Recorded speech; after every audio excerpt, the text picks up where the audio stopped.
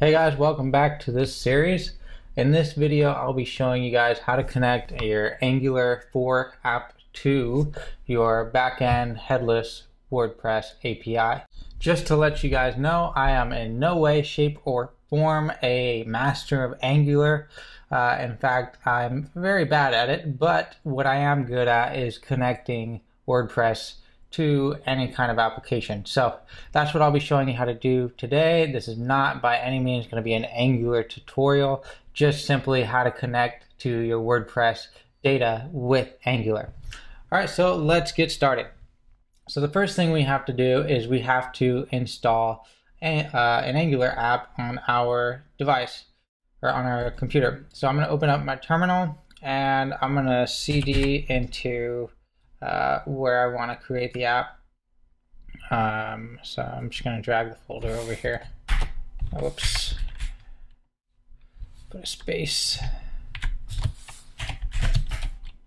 Okay. And now the first thing you have to do is you have to globally install the command line interface to create Angular apps. So we'll say npm install, or I'm sorry, when you install anything global, make sure you use the sudo command if you're on a Mac. If you're on Windows, make sure you are a root or admin user. So sudo npm install dash g for global at angular slash CLI. Enter in your password. Now, I have this installed already, but it's probably going to reinstall it. Um, so I'll, this is going to take a couple minutes. I'll go ahead and fast forward through this process. Okay, so now that that's done, we're gonna go ahead and create a new Angular app. So to do that, we're just gonna type in ng new, and we'll call it headless-angular. And make sure you're still in the directory that you wanna create this app. And this too will take some time. It's basically just gonna be installing a lot of node packages. Uh, so give it a few minutes, even if it looks like it's not doing anything. Uh, just give it a couple minutes and uh, I'll be right back. Okay, now that that's created, I'm gonna go ahead and open up the folder where it is installed. So if you look, we have this headless Angular app. Now right here is my uh, WordPress um, website that's currently running with uh, with MAMP right here. Um, and so what I like to do is I like to just copy this uh, this whole file and uh, paste it into the Angular app. I was all in one folder. You can easily change all the files in there. And I'm actually going to rename it to admin, that's what it is. Um, and then, so now that we changed where our WordPress site is being hosted, we have to change uh, where our MAMP sees it. So we're going to say stop. Preferences, click the folder, and We'll go into headless angular, admin, select. Okay, start. And once it's up, go ahead and just refresh your admin backend, make sure it's working just fine. Okay, we're good. All right, so now let's go ahead and uh, open up our Angular app. So we're gonna drag it into our Visual Studio Code. All right, here it is. Let me just uh, resize this accordingly. I'm gonna go ahead and open up the terminal in my text editor. You can use your um, regular terminal if you want, it's the same thing. Just make sure you are in the actual folder uh, where you installed the app. Okay, so we're gonna go ahead and start this app. Um, so we're gonna use the Angular command ng serve dash dash open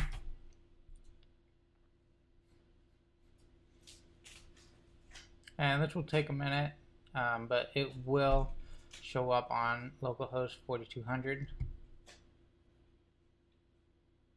after it builds everything.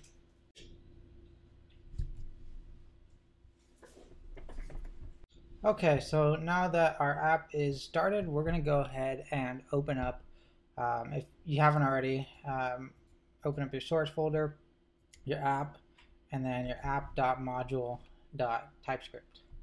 Okay, and so the first thing we have to do in here is we have to bring in uh, the HTTP client module, which allows you to make a GET request to your uh, WordPress server or your WordPress API.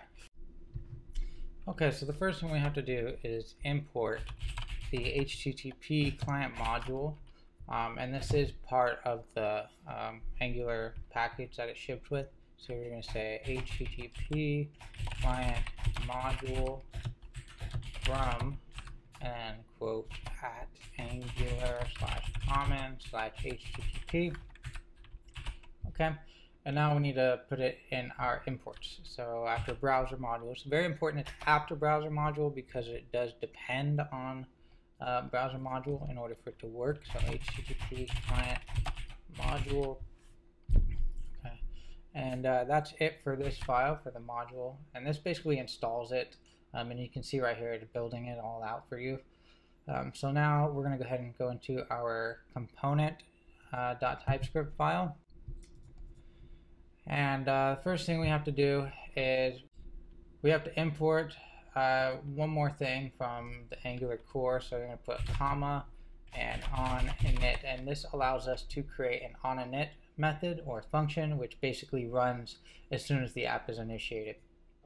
All right, so after we've imported that, we're going to import um, the HTTP client, and that's going to be from angular slash common slash http. Okay. And the next thing we got to do is um, underneath our component, um, sorry, right here, in our when we export the class of app component, we want to actually implement the on init method. Um, and so then what we're going to do is we're going to call projects equals to, and we're going to set this to an empty array. Um, so what we're doing here is basically, this is where all of our projects are going to be loaded into once we do pull them from the API. Um, so after our projects, uh, we actually don't need this title anymore. If we save it, it's probably going to give us a big error. Um, so we'll just keep going. We're going to say constructor private HTTP, HTTP client. Uh, this basically builds out the uh, HTTP client for us before it actually loads so that we can use the HTTP method. Um, and so that's pretty much how that is done. After that, now we're going to use our ng on init.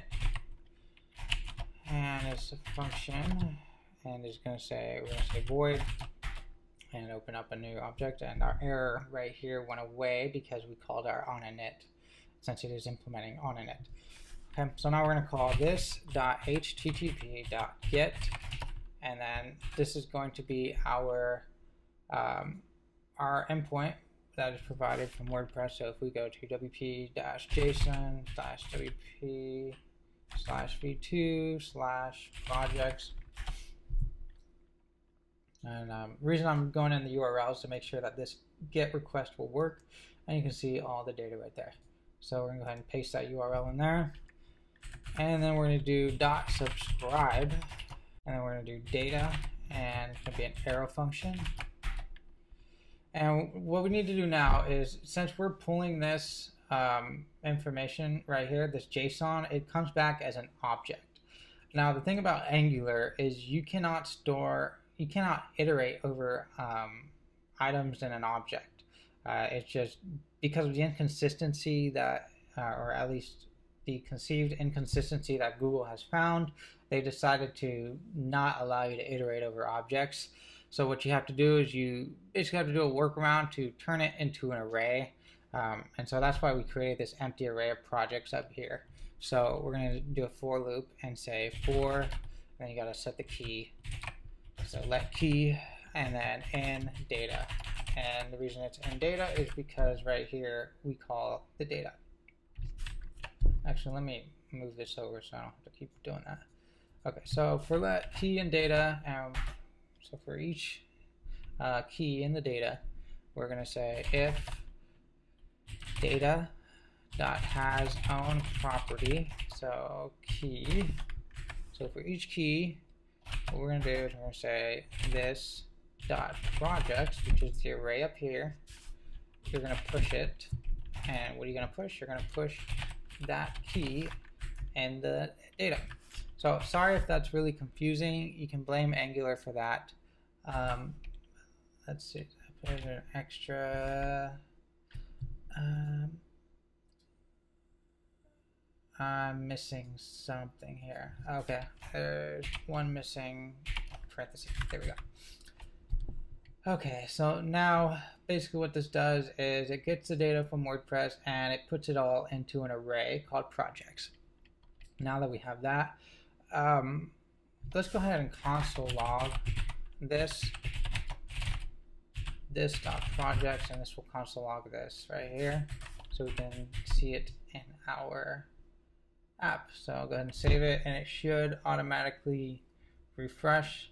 Um, if you see it getting stuck at 92%, usually something's wrong, uh, but in this case it went through.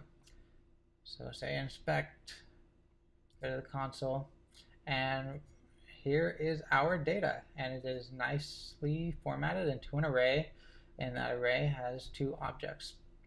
Perfect. So now we can iterate through this data and put it onto our app. So now we're going to go to the app.component.html, which is the templating system, and uh, we're going to just delete all of this for now.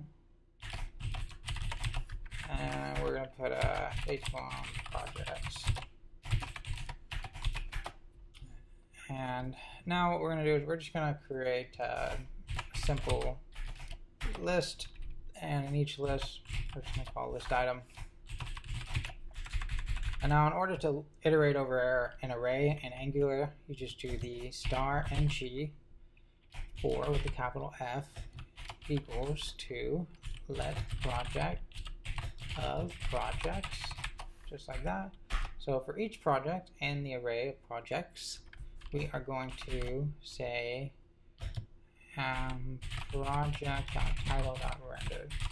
And the reason I did that exact text is because if you go into your console log and you open up just the first item in the array, um, you can go down to title and rendered. And so this should pull up test2 and then whatever the title is for the second object in the array. So we'll go ahead and save this. And we have our two titles for our two uh, projects and our WordPress data. Okay, so now let's just um, let's try putting in an image here. So we're to say image. Now let's go back to the uh, console log. Let me put this in the, the doc. Okay, so if we go to console, we open this up. How do we get an image? Uh, we got to go to better featured image, and we're going to get the alt text from here, as well as we could just get the source of the, the featured image if we just do source URL. But I usually like to do is make sure I pick a size so that it's not enormously big if the user uploaded a huge file. Uh, so we're going to say source equals double curlies project dot uh, what is it better featured image and then dot so I'm going into this object I'm going to go into media details dot sizes dot medium dot source URL and just to confirm if we open up the medium object we will see the source URL, and that is where our picture is at.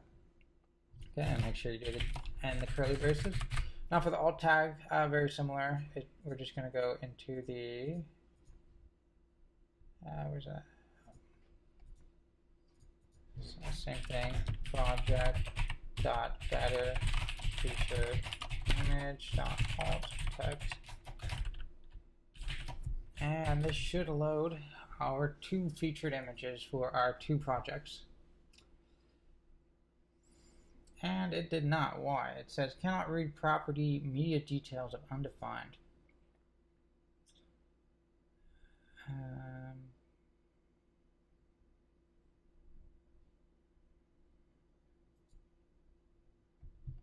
Oh, I put this plus sign in here. Project should be an underscore. Save that. And there we go. We have our two images, and if we inspect it, uh, we'll see the alt right there is the alt that I had put in uh, in the WordPress site. Okay, um, so that is how you integrate your WordPress API into your Angular application. Um, like I said, I'm not the biggest connoisseur of Angular, and uh, to be honest, I don't know everything about it. But if you have a question, uh, please let me know in the comments, and I'll do everything I can to help you out. I'll see you guys in the next video.